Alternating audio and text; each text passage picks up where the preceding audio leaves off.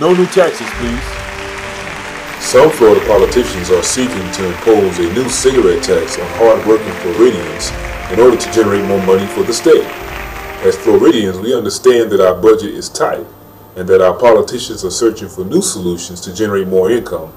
But imposing a tax that clearly hurts one particular group of our community more than the other is unacceptable.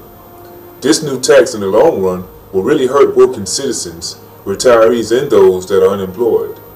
A group of concerned citizens called Working Floridians Against Cigarette Tax have rallied to raise awareness and advocate against imposing this tax that will badly impact the working citizens, retirees, and the unemployed people of Florida. If you also feel that it is wrong to tax the honest working citizens of Florida, please fight with us against this tax. We need your help.